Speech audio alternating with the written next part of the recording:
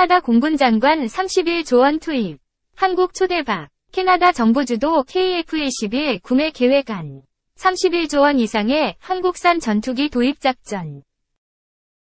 KAI는 이번 전시회에서 차세대 공중전투체계 KF-21 및 무인 전투기, 다목적 무인기 편대로 구성된 유무인 복합 전투체계 AAV 등 미래 항공전력을 선보였다고 말했다. 이외에도 초소형 SAR 위성, 차세대 중형 위성 2호 등 KAI의 우주 분야 주력 모델도 전시됐다. 특히 미래 전장에서 game changer로 주목받고 있는 차세대 공중전투 체계가 이번 전시회에서 관람객의 이목을 집중시켰다.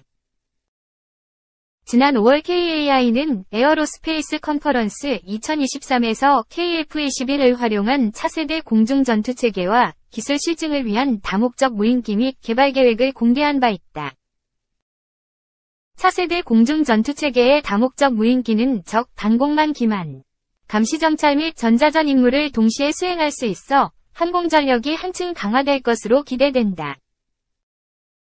KAI는 2025년까지 다목적 무인기 플랫폼을 개발하고 향후 FA50과 통합하여 AI 기반의 차세대 공중전투체계 핵심 기술을 개발한다는 계획이다. 또한 KAI는 헬기에 탑재 가능한 캐니스터형 무인기를 개발해 수리용과 소형 무장 헬기의 유무인 복합체계를 구축한다는 목표이다.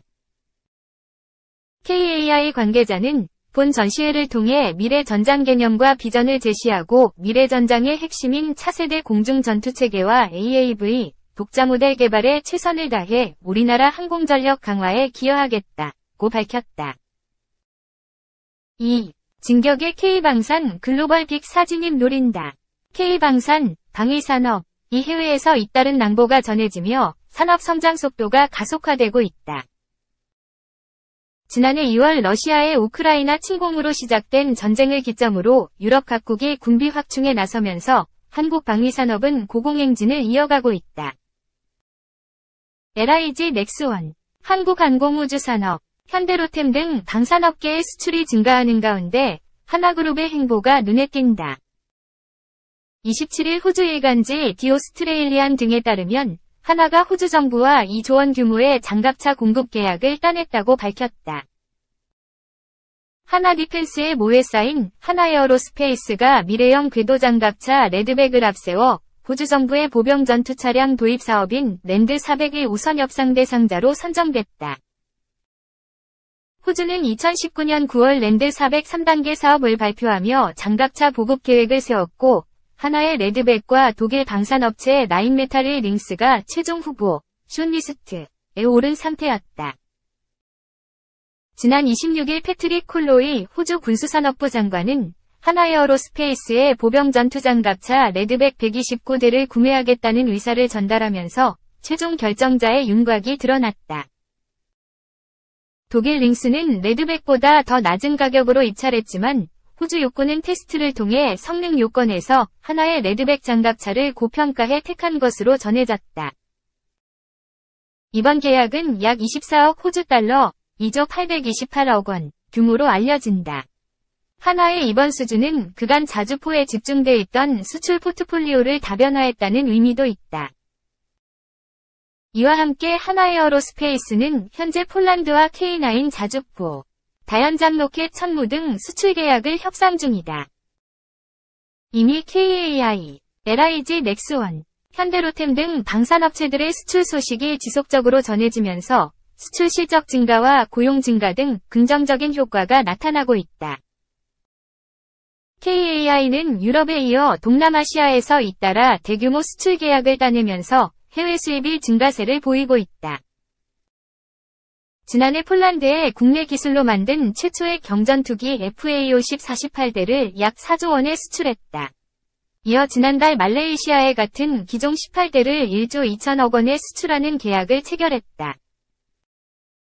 또 지난달 7일에는 경남 사천 본사에서 폴란드 수출형 FA50 1호기 출고식을 가졌다. 지난해 9월 폴란드 정부와 계약을 체결한 후 8개월 만이다. 폴란드 첫 수출 모델인 FA-50GF는 다음 달 납품을 시작해 올해 연말까지 12대가 먼저 납품될 예정이다.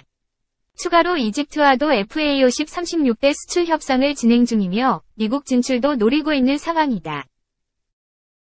여기에 더해 말레이시아와 지난달 약 1조 2천억 원 규모의 FA-50M 18대 수출 계약을 체결했으며 2차로 18대 추가를 계획 중인 것으로 알려졌다.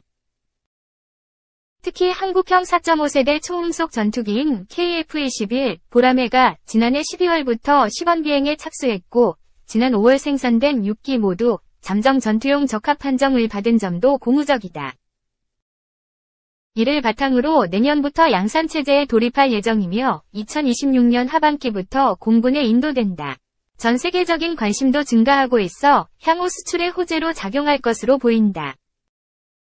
LIG 넥스원은 올해 상반기에만 방산 분야에서 1조 원에 달하는 신규 수주 계약을 체결했다. 아랍에미리트 천공이 수출권을 비롯해 인도네시아 무전기 사업, 폴란드 FA50 GF 사업용 레이더 프로젝트 수주에 성공했다. 이를 통해 수주 잔고와 실적 역시 최고치를 경신하고 있다. 해외에서 일감을 따내면서 수출 비중이 20%에 육박할 정도로 늘었다. 현대로템 역시 지난해 폴란드 군비청과 4조 4,992억 원 규모의 K2 전차 180대 수출 계약을 따낸 데 이어 올해 후속 계약을 앞두고 있다. 지난 3월 폴란드 국영방산그룹 PGZ, 산하기업 WZM 등과 폴란드형 K2 전차 생산 납품 사업을 위한 컨소시엄 이행합의서를 체결해 2차 계약을 추진하고 있다. 논의 중인 추가 수주 총 규모는 약 12조 5천억 원에 달하는 것으로 알려졌다. LIG 넥스원, KAI, 현대로템, 하나 등 K방산업체들은 지난해 173억 달러, 22조 1,008억 원, 수출을 달성하며 신기록을 쓴 데 이어 올해는 200억 달러 수출 시대를 무난히 열 것으로 보고 있다. 윤석열 정부는 출범 초기부터 대한민국을 이끌 미래 먹거리 산업으로 반도체, 배터리, 바이오와 함께 방산을 국가 성장의 핵심으로 꼽았다. 특히 방위산업 분야에서 2027년까지 세계 시장 점유율 5%를 돌파해 미국, 러시아, 프랑스에 이어 세계 4대 방산 수출국 진입 목표를 밝혔다. 윤 대통령은 지난달 9일 국제해양방위산업전 2023에서 정부는 앞으로도 여러 우방국과 협력을 확대해 K방산에 대한 신뢰를 제고해 나갈 것이다. 여 대통령부터 1호 영업사원 2대 국내 방산기업의 수출 촉진을 위해 노력하겠다. 고 말했다. 방위산업의 가치는 전후방산업에 미치는 효과가 탁월해 경제에 활력을 불어넣을 수 있다는 분석이 나온다. 정부는 역대 최대 실적을 달성한 지난해 일자리 13만 개와 46조 원 규모의 생산 유발 효과가 창출된 것으로 추산한 바 있다. 만약 글로벌 방산 수출 9위인 한국이 정부 계획대로 글로벌 빅사 진입에 성공하면 관련 매출과 고용은 2021년 대비 모두 2배 가까이 늘 것이라는 분석이 나온다. 전국경제인연합회, 정경련 가 최근 공개한 세계 4대 방산 수출국 도약의 경제적 효과와 과제 보고서에 따르면 방산 매출은 2021년 15조 9천억 원에서 2027년 29조 7천억 원으로 18조 800억 원, 86.8% 늘어날 것으로 내다봤다. 같은 기간 고용은 3만 3천 명에서 6만 9천 명으로 2배 넘게 늘어날 것으로 추정했다. 특히 고용의 경우 방산 연관 산업에서 나타나는 간접 효과를 배제하고 추정한 것으로 직간접 효과를 모두 고려하면 실제 고용 효과는 더 클 수 있다. 업계 관계자는 한국 방산업체가 전 세계에서 러브콜이 증가하는 이유로는 가성비와 AS 능력이 우수한 점이 꼽히며 수출 후조가 일시적인 현상이 되지 않기 위해서는 양적 질적 성장을 위한 전략이 중요하다. 위요. 방위산업이 단순히 경제적으로 접근할 수 없는 것이 우리나라의 정보통신 기술과 접목한 첨단 무기 기술력과 함께 기술을 다룰 수 있는 고급 인력까지 보유해야 하기 때문에 미래 산업의 집약체로 향후 국가 성장을 이끌 동력이 될 것으로 전망된다. 고 말했다.